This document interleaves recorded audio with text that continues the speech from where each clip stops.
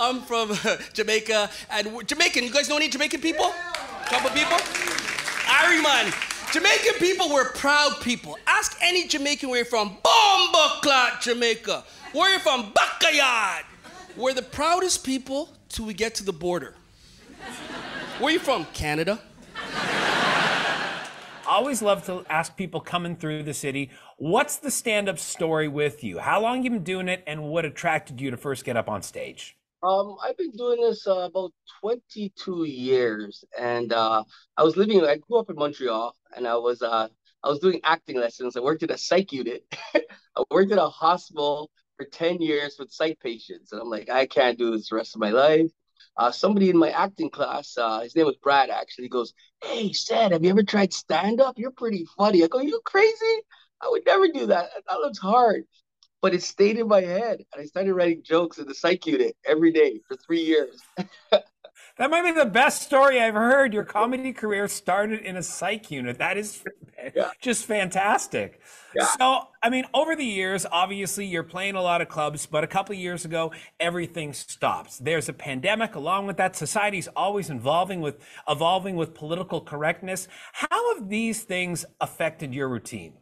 Well, yeah, I went going in um and coming out. I did a lot of um online shows with like John Paul. We had a, a group called the Minority Report. We did skits in the house. There's nothing else to do. People needed to be entertained. So we we ended up writing and writing and writing. You know, wrote a lot of COVID jokes, wrote a lot of uh, being home jokes, and it, it coming out of COVID, I had to work that all into my new my new uh you know my new 45, my new 35 because the problem is um, you kind of forgot your old stuff too. so, but here's the thing: when you get on stage now, you don't want to do too many COVID jokes. You want to do three or four. Nobody wants to be reminded of it. So, with that in mind, though, I mean, as you said, you've been doing this for a while. Clearly, there is a lot of material there. How do you choose when you go from show to show what material to do? Well, I use my best three COVID uh, jokes to start the show, and then I go into like different things. Then I rotate into what I used to do. And then I put all my new jokes and then I talk about, you know, what's been happening with me lately. And it, it just worked out perfect. Like it just worked beautiful because we had to do a lot of outside shows, rooftop shows, you know, everything was like different. And crowds have gotten really socially awkward now. They don't talk as much as they used to. They're just like, or like the Christmas season this year, crowds were like, they didn't even want comedy. They just wanted to talk to each other because they've been at home for so long. This was the first year that everything's been fully open. And people have just gotten, to me, people have gotten really weird. Uh, does that benefit you, though? I mean, the fact that people are getting weird, I feel like you could pull a whole bunch of material from that. Yeah, yeah, but you don't want to talk to them too much. They don't know how to act in public anymore. All right. So, with that in mind, I mean, we learned a little bit about the act that people are going to be seeing this Friday and Saturday. But along with that, I like to, to kind of flip the script on comedians. You know, you've played Burlington before, you played Halton Region before.